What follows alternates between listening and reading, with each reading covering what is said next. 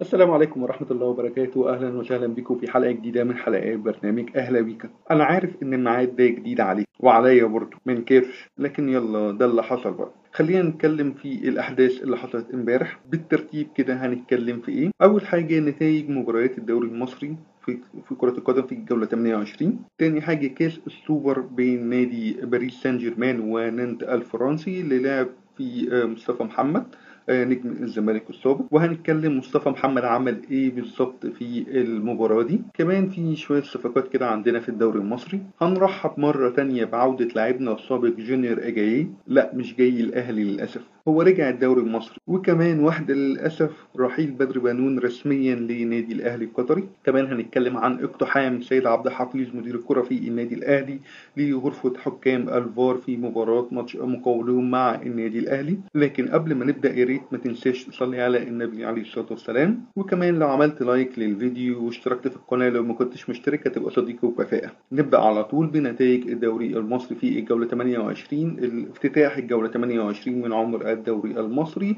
آه، غزل المحلة بيفوز على سموحة بهدف وحيد سجله عبد يحيى مهاجم نادي آه، غزل المحلة. كمان سيراميكا كليوباترا بتخسر من إيسترن كامباني بهدف لأحمد صالح سجله في دقيقة 11 وعلاء عبد العال مدرب ايسترن كومباني بدأ إن هو ينشط فريقه شوية ويبدأ يبتعد بيهم عن مناطق الهبوط واحدة واحدة. طلائع الجيش بقى بتفوز على الاتحاد السكندري بهدفين سجلهم علي محمد الزهيدي بيسجل الهدف الأول وبعد كده أحمد سمير بيسجل الهدف الثاني لطلائع الجيش.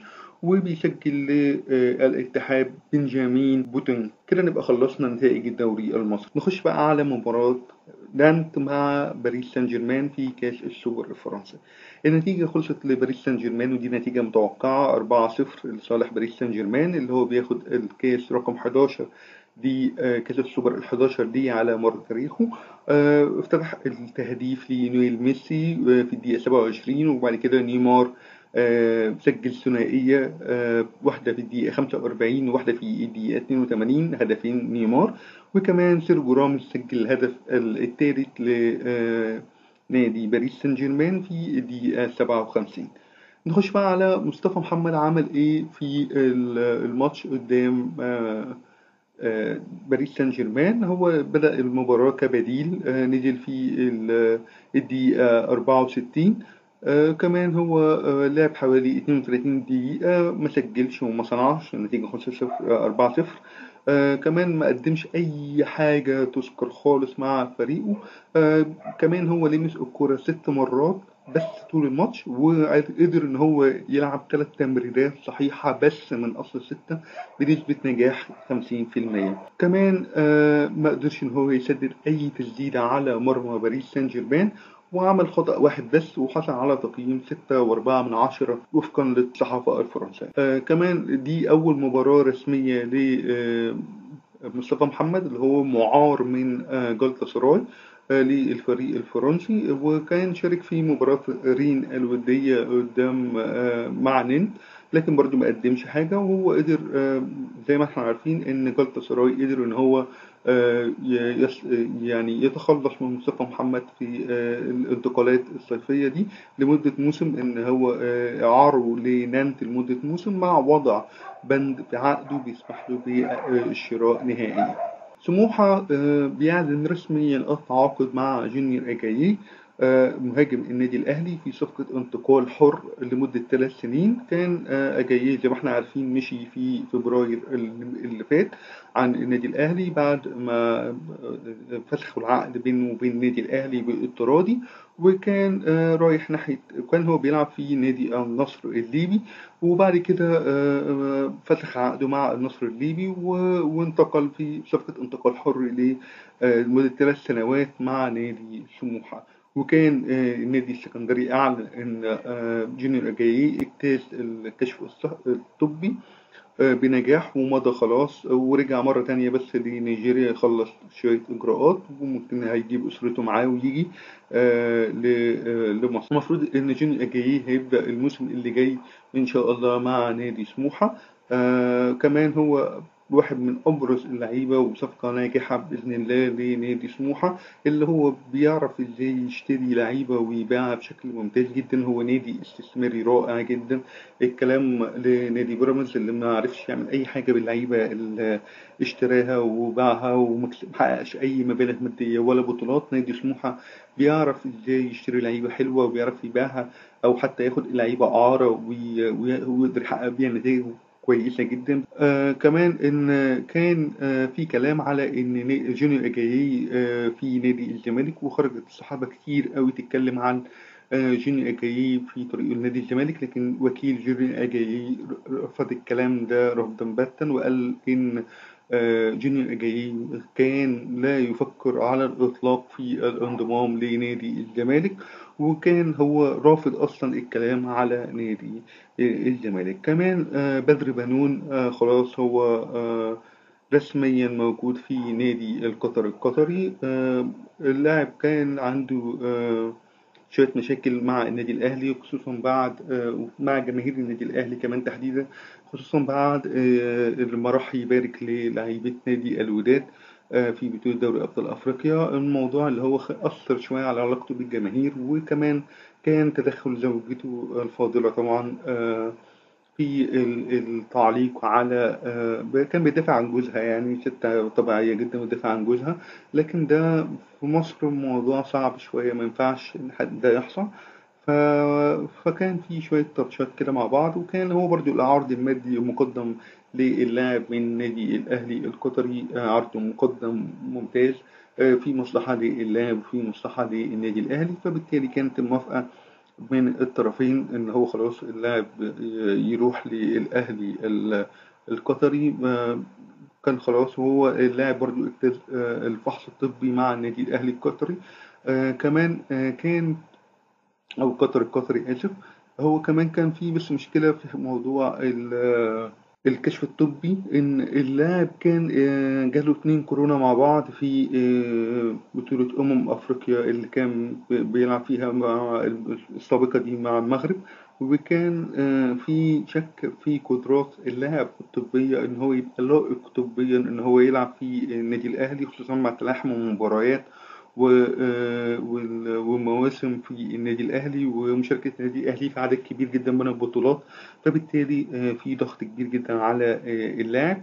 فالنادي الأهلي فضل إن هو آه، يعني آه، قال قال إحنا مش عايزين نكرر تجربة محمد عبد الوهاب. الله يرحمه كانت تجربة أليمة جدا لكل جماهير النادي الأهلي. ووفاة محمد عبد الوهاب في الملعب في التدريب كانت حاجة صعبة جدا. فكان القرار إن إحنا من يعني ما نكررش التجربة دي مرة تانية آه، النادي الأهلي كان وافق على آه، عرض نادي قطر القطري بعد ما أخذ 2 مليون دولار.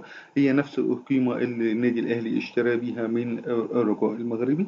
وكمان آه، بدر بنون خلاص هيبقى جاهز إن هو يشارك مع فريقه بداية من الموسم اللي جاي. آه، خلينا بقى نتكلم عن حاجة مهمة جدا وهي اقتحام سيد عبد الحفيظ لغرفة أطفال بعد مباراة مقاولون عرب في الدوري. في الفترة اللي فاتت آه، ال- الأهلي كان بيتعرض لنتائج سلبية آه، يعني أداء وحش وكان آه، كان في آه، يعني محاولات كده يعني أنا مش عايز أقول مؤامرة لكن كان في محاولات ل تحطيم معنويات النادي الأهلي وتحطيم معنويات لعيبة النادي الأهلي وجماهير النادي الأهلي. كمان كان في محاولات أكتر ل يعني إيه لزعزعة استقرار النادي الأهلي. كان بادئ الموضوع دوت من أول آه، خسارة النادي الأهلي لبطولة دوري أبطال أفريقيا في المرة الثالثة آه، على اللي بيوصل فيها لنهائي للمرة الثالثة على التوالي. ورحيل بالسمسماني المدير الفني السابق للنادي الأهلي.